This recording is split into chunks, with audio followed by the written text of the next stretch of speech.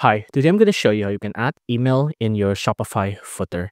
So in Shopify, there's a feature where you can add an email sign up on the footer of your website, right? So I'm going to show you how to do that. Now, starting from the dashboard here, you want to go to the sales channel and then onto online store. And online store, you want to go to the themes section. And once you're on the theme section, you want to click on the button here to customize it, right? And once you click on customize, you'll be taken here. This is a Shopify uh, web shop designer. So you want to scroll down here and you can see there's a footer. And as you can see here, there's already a show an email sign up here. If you want, if you don't see it, you can unclick this. Uh, this is what you'll see normally. If you want to show it, you can click this as well.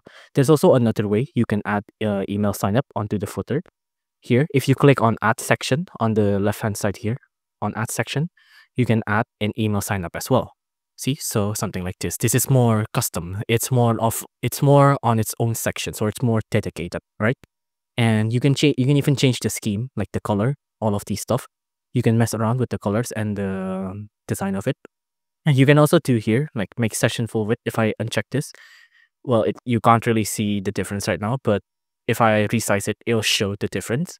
Uh, you can also do the padding here, like it'll change how much the text will uh, move according to the section here.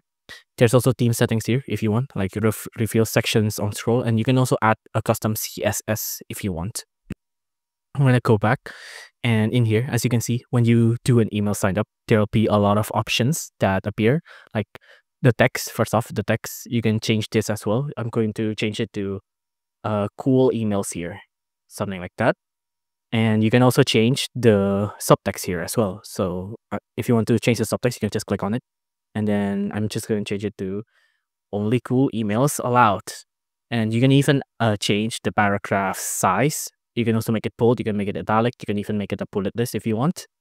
And the thing that makes the email form obviously it's the email form itself. You can't customize this because uh, it's from shopify itself. It's a form system. So this is how you make an email sign up. If you want to uh, rearrange it just click and then uh, track it like that. See? Like that. So you can rearrange it like this. You can even make a lot of email sign up so i could just keep i could just keep making it if you for some reason need to email sign up on your footer.